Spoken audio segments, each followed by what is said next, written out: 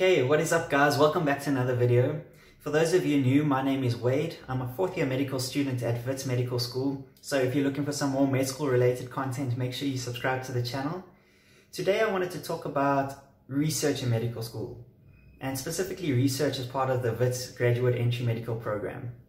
Let me take this back to the beginning. So in GEMP 1 or third year medicine at Wits, you are placed into small groups. And as part of these small groups, this is where you will practice all of your clinical skills. This is where you will do all of the cases as part of your program. So every block you have certain cases to do. You do this as part of the small group. Any nursing visits or community clinic visits or any hospital rotations you do as part of this group. And the same thing applies to the research. So the research that you do as part of the WITS GEMP is not an individualized report that you submit. It's something that is done as part of a small group. Also part of the GEMP 1 and GEMP 2 program, right throughout GEMP 1 and GEMP 2, you have a lot of classes on evidence-based medicine. So these classes kind of introduce you to the idea of research, how to approach research, how to understand research, how to conduct your own research. So you will look at things such as introduction to statistics, different types of sampling, different types of data analysis, different ways to collect data, and so on and so on and so on. Pretty much everything you need in order to conduct a research report. At the beginning of GEMP 2, you also have a number of classes on how to approach research as a topic. So how to get your research questions, how to identify your aims and your objectives, what are your hypotheses, how to collect your data, how to analyze that data, how to draw conclusions, and you know, pretty much again, everything that you need in order to do research as part of your medical degree. The research that you do, you start in GEMP 2, you also work on it in GEMP 3, and then it contributes towards your GEMP 4 mark. So to break that down into normal terms, you start off in your fourth year of medicine, you continue with your research in your fifth year of medicine, and it counts towards your sixth and final year of medicine mark as well. How the research works in the program is each year there are a number of topics that are given to the students. So I think this year we had about 70 or just over 70 topics. There's obviously a number of the small groups making up your year, and it's pretty much a first come, first serve basis. So they give out these topics, you sit with your group, you decide on your top three choices. Then one day they will open up a form where you get to submit your top three choices and it pretty much works on first come, first serve. Because there are quite a few small groups and relatively limited research topics, uh, it's quite a mad rush to see who gets what. So to put in perspective, this year, my group submitted our top three choices within one minute, within a minute of the forms opening. And every single one of those topics was allocated already. So you might end up with a topic that maybe you're not the most interested in doing, but my advice to this is to approach it as a learning experience. I know for a fact that when we were given our research topic for our group, it wasn't one of the topics that I was particularly interested in. That being said, the more that I've researched and looked into it and understood the topic, the more interesting it becomes. And I think that's true for any topic that you're given. Perhaps it's not something in your realm of immediate thinking. For instance, I would have been interested in doing something to do with one of the surgical departments or emergency medicine or something like that, which is not the case.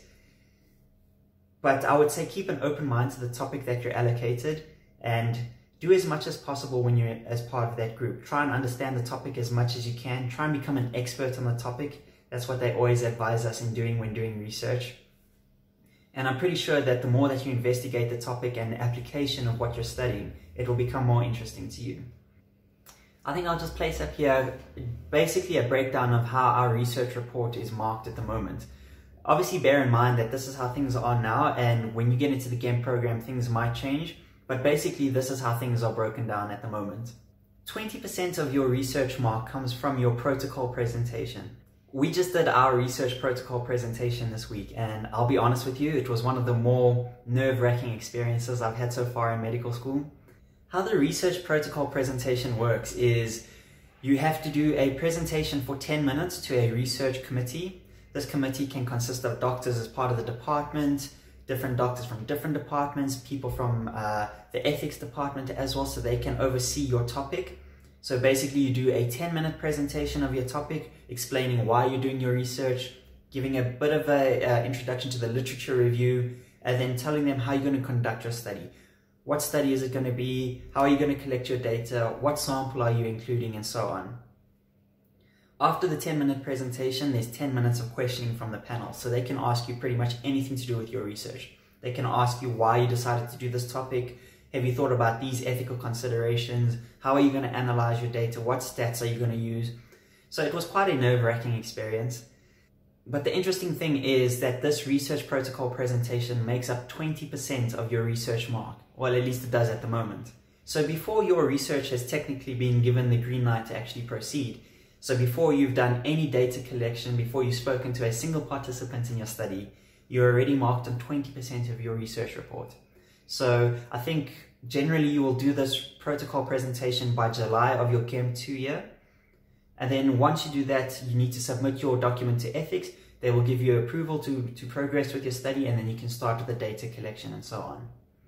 I think an important thing to note here is that 20% of your research report comes from a peer evaluation. So I did mention before that this is a group project. And as part of that group, you'll be marked by everybody in that group according to your contribution. And 20% of your research report comes from this. So it's obviously heavily weighted. And I think it's there to make sure that people, as part of that group, pull their weight and contribute as much as possible to the actual research process. I'm sure everybody's worked as part of a group where somebody just doesn't want to do anything. So you kind of have to carry them along with the project. So this is just kind of there to make sure that the group works together, that not one person carries the project, that everybody contributes as a group. I think it's also heavily weighted because in the grand scheme of things, medicine is not an individual practice. You will always be a part of a team. And I think this kind of just fosters the introduction into working as part of a team. Even though it could be difficult at times, people clash heads on how to approach a certain topic. People might not want to work, so you're going to have to be a sort of disciplinarian in that kind of situation. So I think this is one of the first instances where we're put into a team situation and we have to learn how to work as a team and to contribute to a team to make sure that the work gets done. Another 20% of your research comes from another presentation that you have to do. So once you've conducted your research, you need to do a second presentation where you present all the findings of your research. So that means that 40% of your research comes from two presentations. So take the presentations seriously, uh, prepare for them. Uh, it is very nerve wracking, obviously, so just make sure that you prepare for the actual presentations. Try and foresee what questions they'll come up with for your research. I know that as part of our group, we were taken a bit by surprise by some of the more obvious questions which we just didn't think of, which we should have. So we, we kind of went into more depth about maybe they'll ask us on the stats or maybe they'll ask us on data collection. Whereas they actually asked us very simple, straightforward, logical questions, which I think gets overlooked quite often in designing a study. And then the last 40% of your mark comes up from the actual research report that you submit. So that makes up the full 100%. And as I said, this mark contributes to your GEMP 4 year or your sixth and final year of medicine. In terms of the research topics, this is pretty much as broad as you can imagine. You get a number of topics from surgical departments, cardiothoracic surgery, vascular surgery, pediatric surgery. You'll have a few from emergency departments. You'll get quite a bit from family medicine and public health. Then you'll also get a lot of topics, funny enough, which I wasn't expecting from ENT. So our research that we're doing as part of our group falls under ENT, which is not something I've ever really thought of before. So I must be honest, when we were given our topic, I wasn't exactly excited. It wasn't something that I was outwardly interested in. But as I mentioned, the more that I've looked at the research, the more that I've contributed towards it and investigated it, the more interesting it becomes and the more I can see the applicability of it and the excitement of conducting the research. Just to give a quick overview of the research that we're conducting as part of our group, we were initially going to look at tongue strength in people who have had a glossectomy. So this is where you have part of your tongue removed. So it could be due to cancer or trauma or anything like that. You might think, okay, well, why measure tongue strength?